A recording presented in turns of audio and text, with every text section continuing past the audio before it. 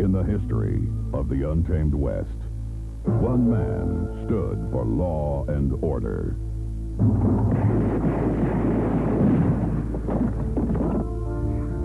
They called him Brisco County Jr. God, he hated that. Is that where you're from? No, ma'am, that's who I am. Fearless, fast on his feet. Hit with the ladies. Your dress is caught in my fly. Oh, I'll get that for you. Oh. oh. In short, he's a pistol. You like the bed?